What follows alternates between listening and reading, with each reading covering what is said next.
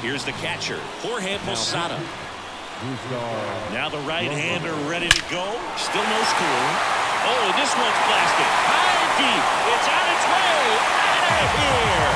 Ball game. A massive home run. And they will walk it off.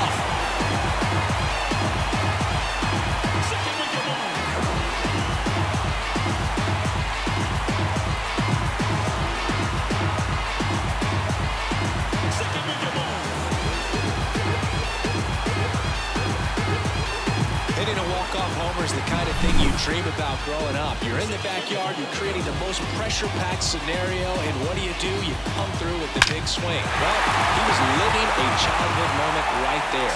Nice swing of the bat, nice win for the team.